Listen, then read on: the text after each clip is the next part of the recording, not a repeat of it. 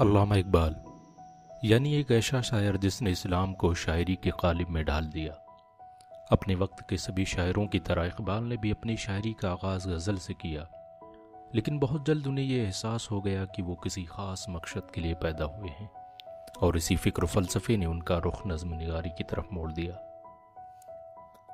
علامہ اقبال کی نظم نگاری کو دو حصوں میں تقسیم کیا جا سکتا ہے۔ ایک وہ دور زیر تعلیم تھے اور دوسرا وہ جب انہوں نے انگلینڈ کا سفر کیا۔ علامہ اقبال کا ماننا تھا کہ شاعری صرف حسن و عشق، گل و بلبل کی داستانوں کا نام نہیں ہے، بلکہ یہ وہ ذریعہ ہے جس کے ذریعے قوموں کی رہنمائی کا کارنامہ انجام دیا جا سکتا ہے۔ علامہ اقبال ایک فطری شاعر تھے، جن کے اندر نظم نگاری کے عناصر پہلے سے موجود تھے، اور اس کا جوہر دنیا تب بھی دیکھ چکی تھی جب وہ زیر تعلیم تھے۔ بھانگ درا علامہ اقبال کا پہلا مجموعہ کلام ہے اور اس کی پہلی نظم ہمالیہ ایک شاہکار کے روپ میں ہمارے سامنے آتی ہے۔ یہ وہی نظم تھی جس کے اندر پیش کیا گیا فلسفہ آنے والے دور میں فلسفہ خودی کے نام سے مشہور ہوا۔ اور جس نے اقبال کو اس منصب و مقام پر فائز کر دیا جس کی مثال اردو ادب کی تاریخ میں ملنا مشکل ہے۔ علامہ اقبال نے اپنی نظم نگاری کے ابتدائی دور یعنی انیس سو سے انیس سو پانچ کے درمیان ہمالیہ نیا شوالا اور ترانہ ہندی جیسی بہت سی نظمیں لکھی جن کے مطالعے سے یہ بات واضح ہو جاتی ہے کہ اقبال ہندوستانی تہذیب و ثقافت سے حد درجہ متاثر تھے اور انہوں نے ہندو مسلم کے مابین فرق کو مٹانا چاہا اور اس کے پیش نظر انہوں نے اپنی شہر آفاق نظم نیا شوالا کے مضمون کو ترتیب دیا۔ انہوں نے اپنی نظم نیا شوالا میں جو پیغام دیا وہ پیغام یہی تھا، پتھر کی مورتوں میں سمجھا ہے تو خدا ہے۔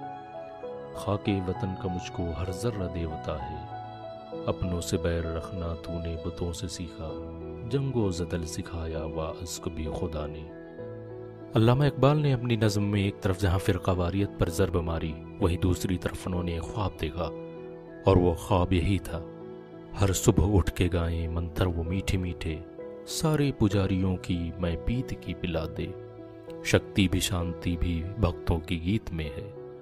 دھرتی کے باسیوں کی مکتی پریت میں ہے۔ لیکن علامہ اقبال کے سوالہ بنانے کے خواب کی جس میں سبھی مذاہب کے لوگ امن آستی سے رہتے ہوں، اس وقت ٹوٹ گئے جب انہوں نے مغرب میں جا کر دیکھا کہ دنیا کے سبھی مذاہب اسلام کو مٹانے پر آمادہ ہیں اور وہ مسلمانوں کے وجود کو صفحہ ہستی سے مٹانے کے لیے بڑے ہی غضبناک منصوبے ترتیب دے رہے ہیں۔ انگلینڈ کے سفر نے اقبال کی زندگی میں وہ انقلاب برپا کیا کہ ان کے فکر و فلسفے میں بھی تبدیلی پیدا ہو گئی اور وہ ایک کہنے پر مجبور ہو گئے۔ خودی کا سر نہا لا الہ الا اللہ۔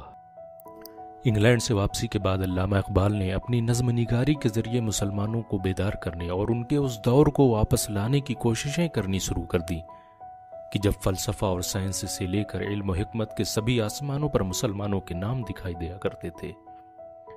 انہوں نے اپنے اس درد کو بیان کرتے ہوئے یہاں تک کہہ دیا، کبھی اے نوجوان مسلم تدبر بھی کیا تو نے؟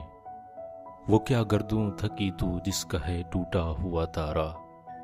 تجھے اس قوم نے پالا ہے آگو سے محبت میں، کچل ڈالا تھا جس نے پاؤں سے تاجے سرے دارا۔ مگر وہ علم کے موتی کتابیں اپنے آبا کی۔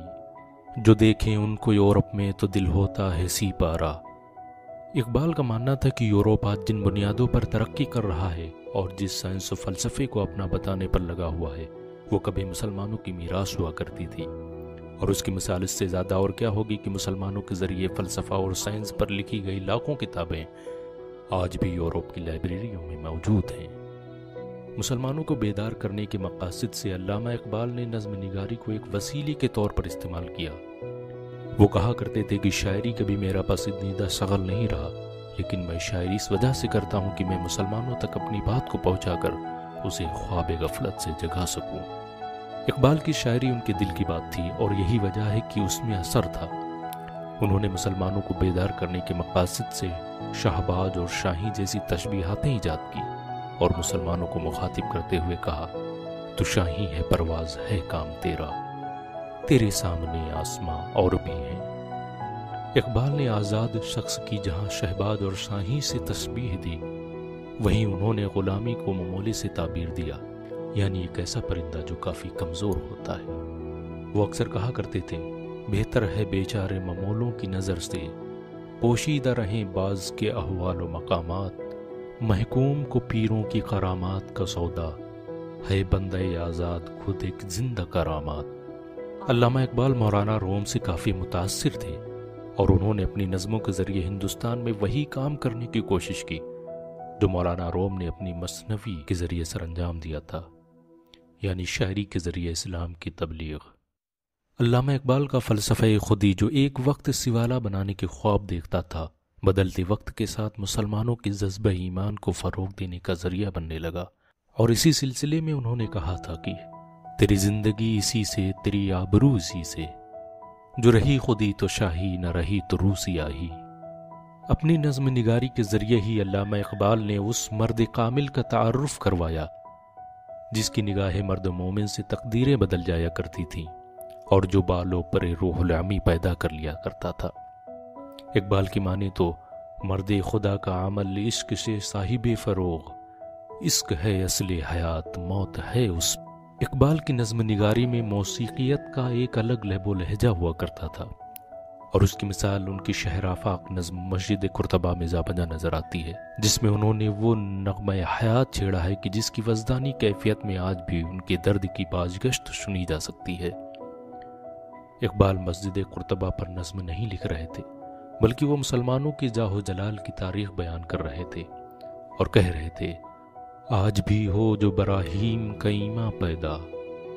آگ کر سکتی ہے انداز گلستہ پیدا۔